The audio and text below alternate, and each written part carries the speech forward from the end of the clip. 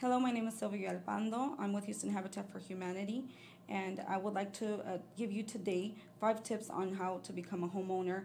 So, with Houston Habitat, uh, the very first thing I can say is that just apply.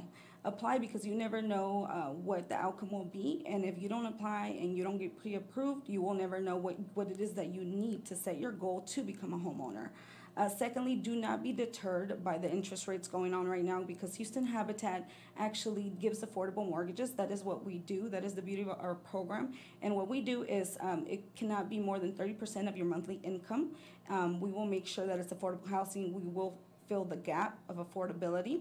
Um, the third one is uh, gather all the documents ahead of time when you apply so that you do not get denied for having an incomplete application. That is very important.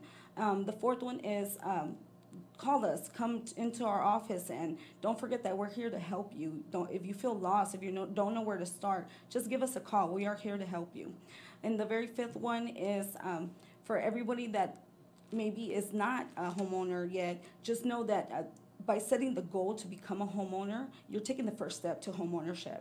Um, be encouraged and have some confidence in that you can do this.